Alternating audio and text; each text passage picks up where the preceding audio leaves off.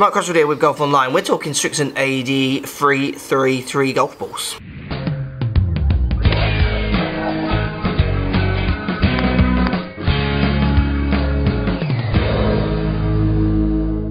Just how good is the Srixon AD333 golf ball for golfers looking for a ball that's going to serve some off tee, into greens and around greens while at the same time not hurting their pockets? So I think where Srixon really comes into the marketplace is with its price point, isn't it?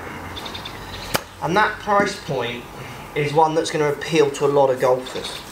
Now as I put this ball through different tests, there's more videos coming showing you different tests as I hit with this ball. You're going to notice that the differences are small. And there's certain shots where it won't make any difference at all. So if you take a chip shot here, for example, Srixon AD333, that's 900 revs on a slightly duffy strike. It's a better strike, spinning at 1,745 revs. Now I've got a Pro V1 here, Titleist.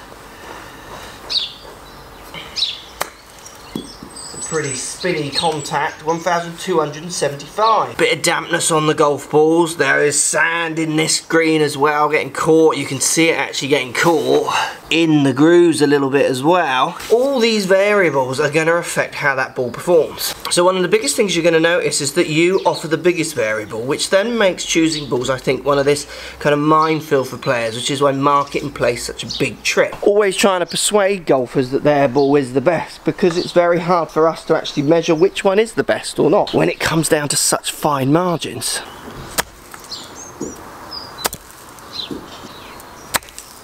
One of the biggest misconceptions with golf balls is thinking that one goes loads further than another off the tee. When it comes to these kind of brands of balls, so in these price brackets made from these materials, the differences off the tees are next to nothing. Five yards, next to nothing. Where I start seeing the biggest difference with golf balls is when it comes to that kind of 9 iron in shot and a Srixon AD333 compared to your premium ball is gonna lose a little bit of spin. So in the odd situation where you need a lot of stop, you might not benefit from this ball, but we're talking situation based.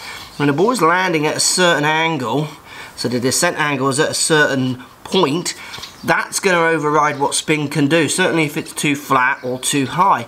So the dropping of the ball, so the land and drop ideas, is not always just built around spin. And things like off the putter face will make people certainly feel a certain way about a ball. And I think it'll severely influence what they think it can do into the green and off the tee. But actually when you come to measure these balls, one of the biggest things that's standing out for me is how price really is a key factor. Srixon AD333 is probably one of the best balls out there at its price point. Definitely one you should give a go. Do you use this ball or not? Post comments down below. Love to hear.